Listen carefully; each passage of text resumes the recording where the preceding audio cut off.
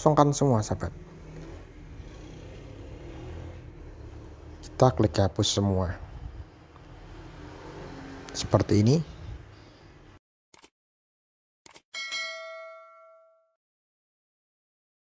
Untuk sahabatku berjumpa lagi di channel Dan GCS Kali ini saya akan mengasih tahu untuk sahabatku cara mengatasi memori RAM HP yang penuh.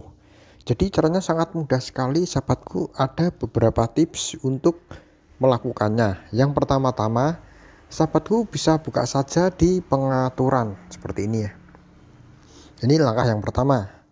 Terus sahabatku di scroll saja.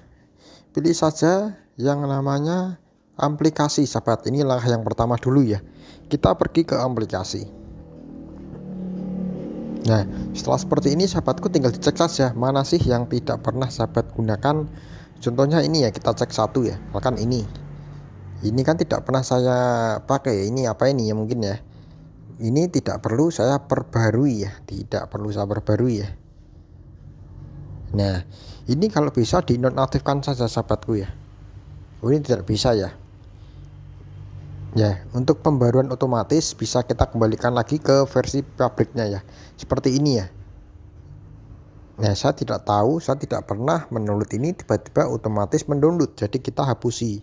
Kita hapus sahabat ya.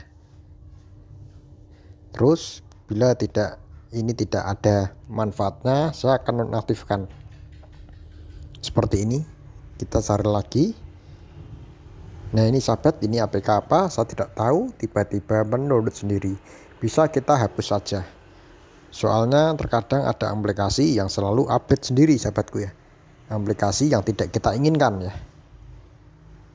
Banyak sekali misalkan ini juga ini bisa kita hapus pembaruan semua. Atau kalau bisa sahabat bisa nonaktifkan saja ya supaya tidak memperbarui secara otomatis nah.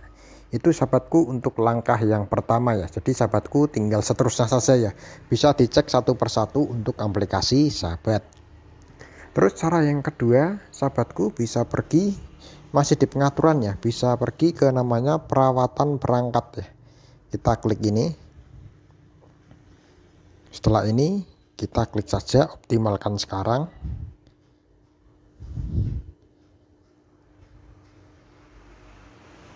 Setelah seperti ini kita kembali. Kita klik saja memori. Kita hapus sekarang cara yang kedua seperti ini. Nah seperti ini sahabat gue. Terus cara yang ketiga sahabatku bisa masuk di galeri juga ya nanti ya.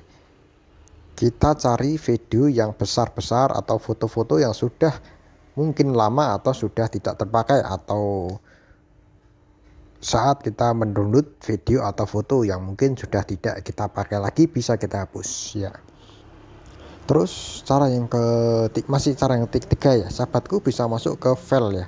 File saya yang ada tanda kuning ya. Yang tadi sahabatku ya ini sahabatku ya. Seperti ini sahabatku ya file seperti ini ya. File seperti ini kita bisa masuk ya di setiap HP biasanya ada. Kita akan masuk di file ini. Terus kita tinggal cek saja misalkan unduhan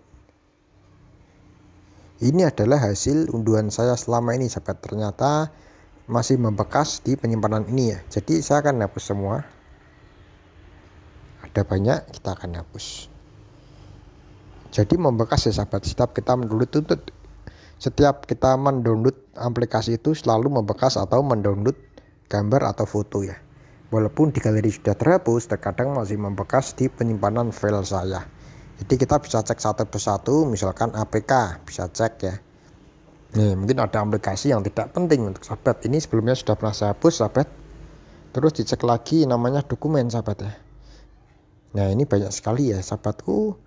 Ini sudah saya hapus semua, sahabat, kurang lebih ya, yang tidak penting tidak penting ya jadi sahabatku bisa mengeceknya satu persatu ya terus kita klik lagi titik tiga di atas ini keempat ini terus sahabatku cek saja sampah.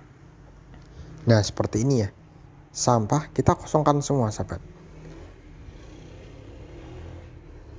Kita klik hapus semua. Seperti ini. Sudah sahabat selesai. Kita kembali. Terus kita juga masih bisa titik tiga kita cek lagi. Kita klik yang namanya analisis penyimpanan kita klik. Nah nanti akan muncul semua sahabat mana sih yang sekiranya penyimpanan yang terbanyak ya? Gambar atau video? Ya ini video punya punya saya terlalu banyak ya sahabat ya.